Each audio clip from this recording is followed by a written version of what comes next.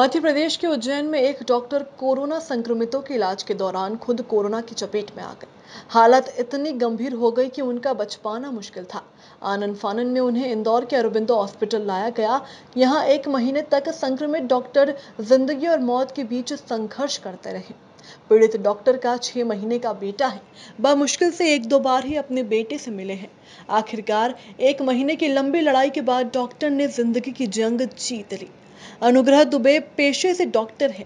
छह महीने के बेटे, पत्नी और माता पिता और भाई से दूर ये नौजवान डॉक्टर विपरीत हालतों में अपनी ड्यूटी पर दता रहा। उज्जैन के आरडी गार्डी अस्पताल में कोरोना मरीजों का कई दिनों तक इलाज करते रहे। इलाज करते करते वे खुद संक्रमित हो गए। उन्हें उसी अस्पताल में भर्ती किया गया।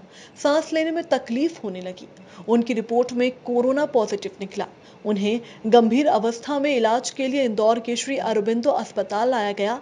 यहाँ हालात इतने पेचीदा हो गए कि कुछ दिनों तक तो लगा शायद अनुग्रह का ज़िंदा बच पाना अब मुमकिन नहीं है। डॉक्टर अनुग्रह को कोरोना संक्रमण के दौरान कई तरह की बीमारियों ने घेर दिया था।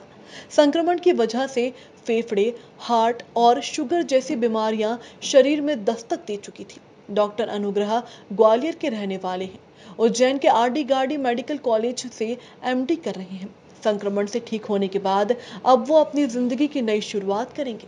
इंदौर का श्री अरबिंदो अस्पताल महामारी के इस कठिन दौर में ज़िंदगी लौटाने वाला अस्पताल साबित हुआ है। अब तीन हज़ार लोगों को कोरोना से मुक्त कर उन्हें सकुशल घर पहुँचाया जा चुका है। कोरोना संक्रमित हज़ारों लोग इस अस्पताल से अपनी नई ज़िंदगी के साथ चेहरों पर मुस्कान लिए लौट रहे हैं। अस्पताल के चेयरमैन डॉक्टर विनोद भंडारी खुद मरीजों की देखरेख में जुटे हैं। डॉक्टर अनुग्रह को बचाना उनके लिए एक चैलेंज था, जिसे उन्होंने पूरा कर दिखाया। ये कहना तो बहुत मुश्किल है कि कब लगा, कैसे लगा, मेरे को ये बीमारी। लेकिन मैंने अपनी आखिरी ड्यूटी जो है, कोविड सस्पेक्ट आईसीयू में 30 अप्रैल को की थी। और उसके दो तीन दिन बाद लगभग दो तारीख को मुझे एब्डोमिनल डिस्कम्फर्ट और फीवर हाई ग्रेड फीवर के सिम्टम्स स्टार्ट हो गए थे। कुछ दिन देखने के बाद आ, कुछ दिन ट्रीटमेंट तो स्टार्ट कर दिया था हम लोग दवाइयाँ वगैरह सब ले रहे थे। कुछ दिन बाद जाँच कराने पे मालूम पड़ा कि हम हमको भी कोविड नाइन्टीन स्टेटस पॉजिटिव आया है। उसके बाद हमको भर्ती किया गया आर डी मेडिकल कॉलेज में उज्जैन में जो मेरा पेरेंट कॉलेज है जहाँ से मैं हूँ। मैं वहाँ थर्ड ईयर मेडिसिन रेजिडेंट हूँ। वहाँ पे इलाज के दौरान मेरी मेरी कंडीशन तेज़ी से बिगड़ने लगी और मेरे सारे टीचर्स और मेरे प्रोफेसर्स ने समय रहते देखते हुए और सभी चीज़ों को ख्याल रखते हुए मेरी फैमिली से बात करके और ये डिसीज़न लिया समय रहते कि इनको बड़ी जगह शिफ्ट किया जाए और मुझे तुरंत बहुत ही प्रॉम्प्टली और बहुत आसानी से यहीं से एंबुलेंस गई थी और मुझे सेम्स इंदौर में शिफ्ट किया गया। और मुझे खुद भी नहीं मालूम था कि ये इतना सीरियस होने वाला है। लेकिन फिर कंडीशन बिगड़ती गई और ये काफ़ी कठिन समय था मेरे लिए, मेरी फैमिली के लिए भी। लेकिन थैंक्स टू गॉड मैं ठीक हो गया हूँ डॉक्टर आप डॉक्टर से पेशेंट बने और फिर डॉक्टर की तरह आप अपनी ड्यूटी स्थल पे जाएँगे। और किस तरह का जज्बा है, क्या कुछ आप कहना हैं? मैं तो यही कहना चाहूँगा कि आ, हम सबको काम करना है कितनी भी बड़ी आपदा है अपनी सावधानी रख के पूरी सावधानी पूरी रखनी है लेकिन काम काम करने से डरना नहीं है पीछे नहीं हटना है और उसी जज्बे के संग वापस से मैं अपनी ड्यूटी ज्वाइन करूँगा। आपकी एग्ज़ाम भी है? हाँ मेरी एग्ज़ाम है बहुत जल्दी हैं एग्ज़ाम के बाद ही अब बाकी का कुछ भी आगे बता पाएँगे। एग्ज़ाम तो है मेरे अभी मैं एग्ज़ाम दे रहा हूँ मैं देना भी चाहता हूँ और मैं, मुझे लगता है यहाँ सेम्स में इतने दिन रख के और मेरे संग इतनी मेहनत करी गई है। फिजियोथेरेपी वगैरह डिपार्टमेंट ने बहुत मेहनत की है बाद में। आफ्टर जब मैं नेगेटिव हो गया कोविड नेगेटिव हो गया स्टेटस ठीक हो गया, लेकिन सांस लेने में मुझे कॉम्प्लिकेशंस थे। सांस लेने में तकलीफ़ थी ऑक्सीजन नहीं हट पा रही थी। सीटी स्कैन में ये बताया गया कि फेफड़ों में बहुत ज़्यादा फाइब्रोसिस हो गई है। तो उसके बाद फिर ये लगा कि पता नहीं ऑक्सीजन कब हटेगी। तो मेरा स्टे बहुत प्रोलॉन्ग हो गया यहाँ पे। काफ़ी टाइम हो गया, मुझे एक महीने से ज़्यादा हो गया है इस अस्पताल में। और फिज़ियोथेरेपी डिपार्टमेंट और फिज़ियोथेरेपिस्ट डॉक्टर्स ने बहुत मेहनत करी। और आज ये है कि अब मेरी ऑक्सीजन हट चुकी है। मैं आपसे बात कर रहा हूँ, आज मैं फ्रेश हवा में सांस ले पा रहा हूँ। बीच में कंडीशन ऐसी लगने लग, मुझे खुद मेरी हिम्मत टूटने जैसे हो गई थी कि मुझे लगने लगा था कि कब हटेगी ऑक्सीजन हटेगी भी कि नहीं हटेगी। मैं ऑक्सीजन हटा के चल पाऊँगा कि नहीं चल पाऊँगा। क्योंकि बहुत टाइम लग गया था। ये बिल्कुल नया है, ये एक ट्रांसफॉर्मेशन है मेरे लिए।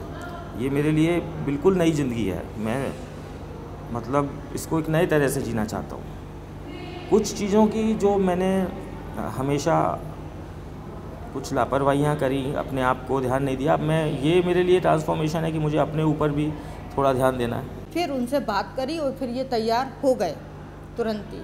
फिर इनको यहाँ लाया गया। यहाँ फ़ोन पे चर्चा होती रहती थी भगवान से प्रार्थना करते रहते थे। इनके नाम का तुरंत ही महामृत्युंजय जाप बिठाया गया। पूजा पाठ करी गई, मिन्नतें करी गई भगवान से बहुत। और फिर धीरे धीरे ये इनका सुधार हुआ। फिर ना पंद्रह दिन तक ये स्टेबल रहे। ना सुधार हो रहा था, ना ऑक्सीजन हट रही थी। वो एक ऐसा समय था, इसने बहुत हिम्मत से काम लिया। ये मैं कहूँगी, और कोई होता तो टूट जाता। मैं इनका छोटा भाई हूँ मेरा नाम अभिनव है।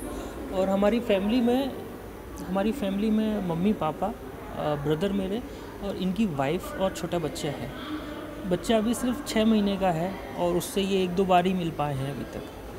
आ, ये बड़ा कठिन समय था जिस वक्त ये न्यूज़ मिली और उसमें माँ बाप के साथ साथ इनकी वाइफ और छोटा बच्चा इस इनको संभालना अपने आप में एक बिग टास्क थी। जिसको इन, इनकी वाइफ ने बहुत ही हिम्मत से निभाया। और बीइंग मैं इनका छोटा ब्रदर ब्रदर हूँ तो पूरा सहयोग मैंने भी किया। और, कुल मिला के राइट टाइम राइट डिसीज़न हुआ कि इनका सारा ट्रीटमेंट बहुत अच्छा हुआ। एक छोटी सी किरण सबके पास थी कि ये सही होके आएँगे और आज ईश्वर ने पूरी मदद की है डॉक्टर्स ने पूरी मदद की है। और आज वो दिन आ चुका है। जिसमें ये सफल हुए हैं और ये इस युद्ध में जीत हुई है।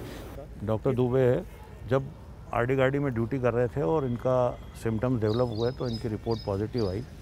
तो वहाँ से आरडी गाड़ी मेडिकल कॉलेज के आईसीयू से सीधा इनको मेरे यहाँ शिफ्ट किया था। जब ये आए थे तो इनका लंग करीब करीब 90 परसेंट इन्वॉल्व था और क्रिटिकल कंडीशन में आए थे। जो भी इस कोरोना में कॉम्प्लिकेशन हमने देखे, वो इनको सब हुए। और लकीली भगवान की दया थी और लोगों की मेहनत हमारे डॉक्टर्स की और सबकी, कि इनको हर दवाई सूट करी। और हर दवाई का इलाज जब करते गए तो हमें और इम्प्रूवमेंट लगते गया। बीच बीच में कुछ ना कुछ कॉम्प्लिकेशन भी आते रहे। जैसे एक सबसे पहले इनको हुआ कि इनके हार्ट की बीमारी इनको चालू हो गई, जो कि इनको थी नहीं। इनको कभी ये नहीं मालूम था कि इनको डायबिटीज़ है, पर डायबिटीज़ हो गई। फिर उसके बाद इनको सांस लेने में इतनी तकलीफ़ होती थी कि दिन भर ये थोड़े मोटे भी थे तो उससे भी तकलीफ़ आती थी। वो जब ठीक हुआ तो इनके लंग में फाइब्रोसिस चालू हो गई। फाइब्रोसिस को फिर ठीक करने की कोशिश करी। मतलब हमने यहाँ तक तैयारी कर ली थी कि अगर होगा तो इनका लंग ट्रांसप्लांट भी कराएँगे।